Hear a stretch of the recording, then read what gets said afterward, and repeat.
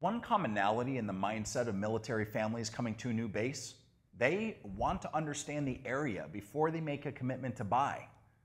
They desire a deeper understanding of the quality of schools, distance to work, shopping, and entertainment.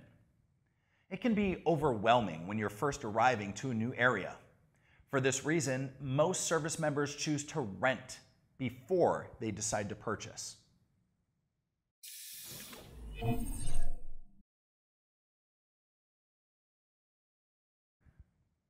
The VA loan sector has been busy. In 2020, the Department of Veterans Affairs released data to show that they had guaranteed 375 trillion in total loan amounts. That represents 1,246,815 homes that were purchased by service members just in 2020. This tells me that our tenants will want to use their VA loan to buy the house they live in. Rates are competitive, and our VA loan officers are all veterans as well. Our systems include education, one hour approvals, and simulation software to estimate payments. We put service members on a clear path to homeownership through this program.